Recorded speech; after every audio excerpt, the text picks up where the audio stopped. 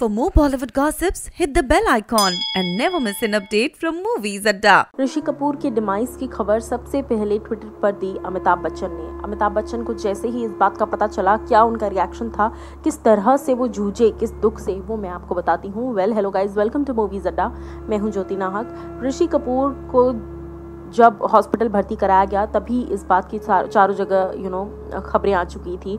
सभी news medias पर इस बात की चर्चा शुरू हो गई थी कि ऋषि कपूर की तबीयत ठीक नहीं है। लेकिन अचानक से यूँ ही वो हमें छोड़कर चले जाएँगे, ये किसी ने नहीं सोचा था। मैं बात करूँ अगर अमिताभ बच्चन की तो अमिताभ सर ने सबसे पहले इस बात की जानकारी दी अपने ट्विटर हैंडल से। उन्होंने लिखा he is gone Rishi Kapoor has passed away I am destroyed कहीं ना कहीं अमिताभ बच्चन और ऋषि कपूर की जो बॉन्डिंग रही है, हमेशा से ही तमाम फ़िल्मों में एक दशक ऐसा था जब सिर्फ़ और सिर्फ़ इन दोनों की ही पिक्चरें नज़र आती थी टेलीविज़न स्क्रीन पर और ऋषि कपूर ऐसे में छोड़कर चले गए हैं हम सभी को और इस खबर से खुद अमिताभ बच्चन टूट चुके हैं। जी हाँ इस बात की एक्सक्लूसिव सोर्सेज से खबर आई है कि अमिताभ बच्चन को जैसे ही इस खबर का पता चला, वो रो पड़े और वो बहुत ज़्यादा रोए हैं। वो इतना रोए हैं जिसकी कोई सीमा नहीं है।